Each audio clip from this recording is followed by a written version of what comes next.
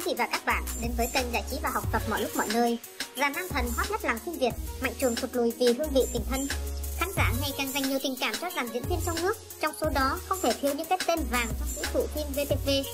Giờ vàng phim Việt không chỉ khiến khán giả có cách nhìn khác về nền phim ảnh nước nhà mà còn giúp diễn viên Việt tiếp cận gần hơn với công chúng. Nhiều sao nam xuất phát từ vũ trụ phim VTV có lượng fan đông đảo chẳng kém gì sao Hàn Trung Thái. Mạnh Trường Sở hữu ngoại hình đẹp trai theo kiểu nam tính, diễn xuất tốt nên Mạnh Trường nhanh chóng nổi tiếng. Sự nghiệp của ông bố hai con có nhiều bộ phim thành công như Bí mật tam giác vàng, Mù tạt, cô và em, cả một đời ân oán. Tuy nhiên, Bay Long trong hương vị tình thân lại không được đánh giá cao. Bị cho là bước thụt lùi trong sự nghiệp của Mạnh Trường. Hồng Đăng Hồng Đăng cũng là cái tên sáng giá của làng phim Việt với ngoại hình duyên dáng, diễn xuất ổn định.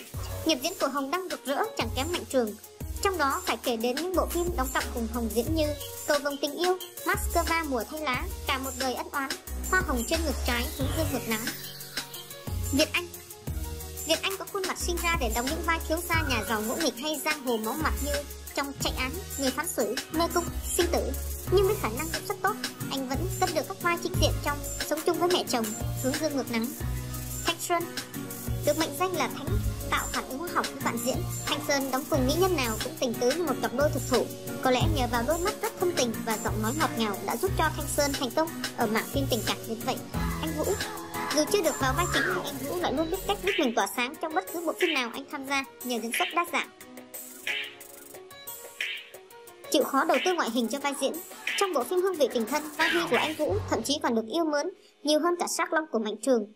Bảo anh nếu như Việt Anh có gương mặt kẻ phản diện thì Bảo Anh lại rất hợp với những vai cảnh sát hình sự. Bảo Ngậu trong đời, trong bộ phim Người phán xử có lẽ là vai diễn đình đáng nhất trong sự nghiệp của Bảo Anh.